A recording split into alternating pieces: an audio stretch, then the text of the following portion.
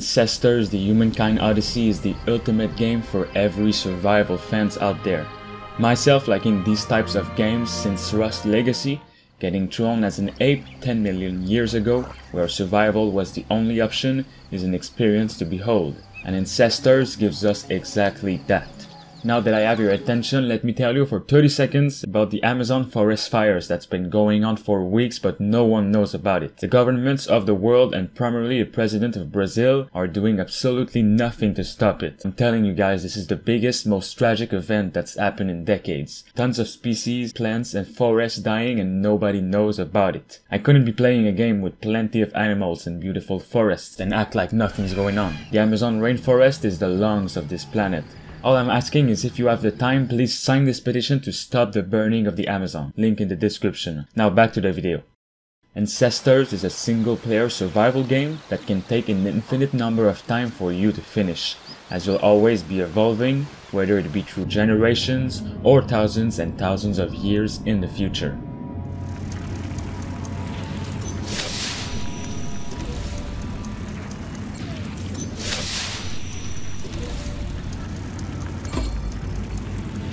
The developers wanted to put you at the center of the story. You 100% decide what the story slash future holds for yourself and your clan, just as our real ancestors did million years ago. And no, don't worry, this is not a way for me or the developers to tell you it's a lazy game with no story at all. They really implemented something unique for this one. This is really your story, and there will be cutscenes at times when you discover and achieve some things which will give you other things with other cutscenes, on and on and on. It never stops. That's what's unique about it. You always evolve just like the world and animals around you.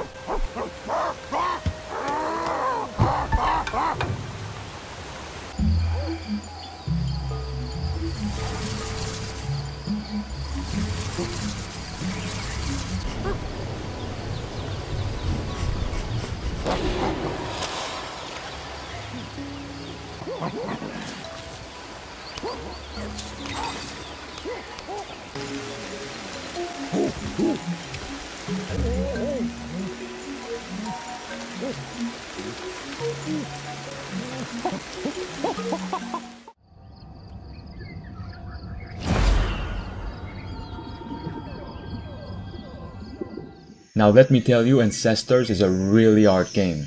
If you don't like realistic hardcore games, then stay away from this as far as you can.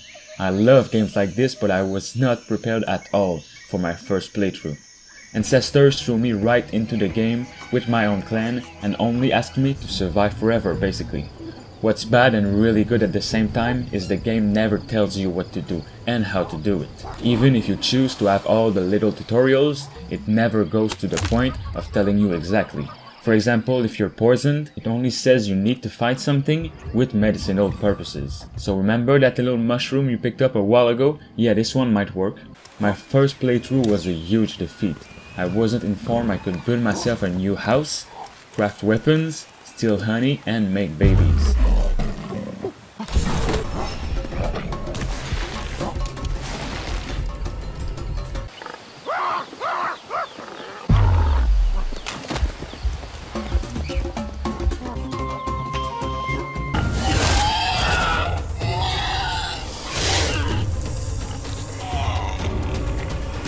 I discovered lots of things with my clan, but ultimately fell out of a tree. My other clan members killed by giant snakes, giant tigers, and so on. My second playthrough though was a success. Like they tell you at the beginning, this is your evolution. So take your time and become familiarized with everything, which is exactly what I did. Then I upgraded a lot of my abilities, made new friends for my clan, made tons of babies, and then decided to pass a generation.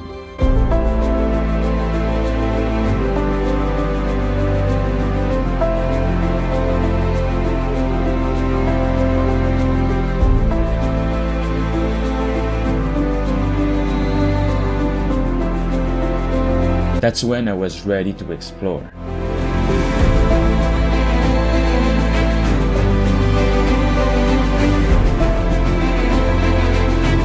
left the jungle I knew and made a new home in a beautiful place.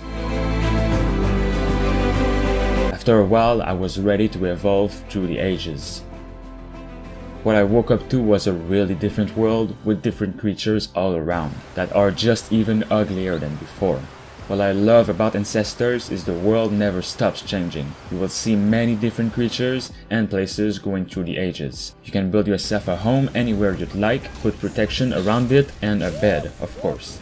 This is just my opinion, but Ancestors is one of the best survival game I've played and is definitely a must if you like this genre.